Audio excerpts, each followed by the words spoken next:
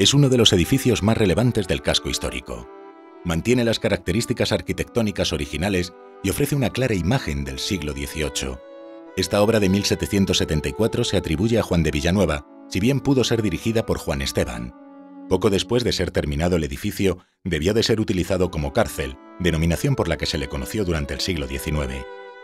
Con una tipología similar al monasterio y casas de oficios, destaca por los paramentos en sillería granítica, las cornisas de granito, el tejado abuhardillado y acabado en pizarra y el acceso recercado con molduras labradas. En el momento actual, el ayuntamiento estudia la posibilidad de localizar el Centro de Estudios Herrerianos para el estudio y divulgación de los valores arquitectónicos y patrimoniales de la localidad a partir de los fondos del legado de Luis Cervera Vera, el máximo estudioso de la obra de Juan de Herrera.